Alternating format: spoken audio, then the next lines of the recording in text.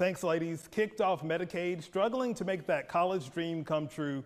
These real struggles are what one of our remar remarkable women tackles each day. Meet Selena Smith.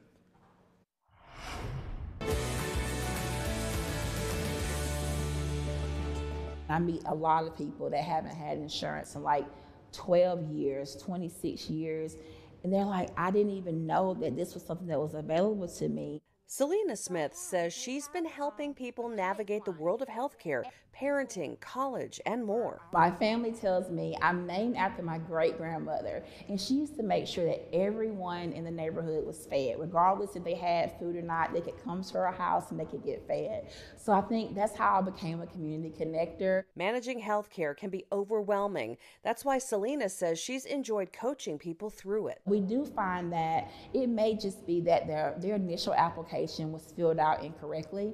So they may qualify for the Medicaid or they may qualify for a free plan. So South Carolina has different resources based on our state where if you're under a certain income, a lot of people don't know you can actually get a credit and it'll pay towards your health care. So most of the people that I've helped, they're either paying zero dollars. I don't really have anyone who's ever paid over $30 a month for health insurance.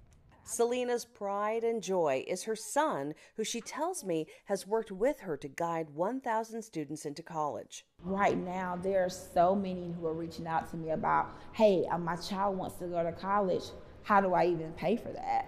And then showing them, okay, these are some tips and tricks. She uses Facebook, TikTok, and all the platforms that help her connect with families. Lots of parents reach out and then just building that community because people believe that they're the only people who have these problems or have these questions. As we gathered around an inspirational statue in downtown Spartanburg, she reminded me she also has a full time job. Uh, I am a health equity strategist, so we are looking at those things where, you know, what are those health equities and those disparities that are affecting our communities on a small scale as well as a large scale. Selena's is touched by her nomination as a remarkable woman, as she is by getting results for families in her community. But when they reach back out and they say, hey, we got the apartment, hey, we have the health care insurance, I got the job, or we bought our first home, that feeling, oh my gosh, it is next to none.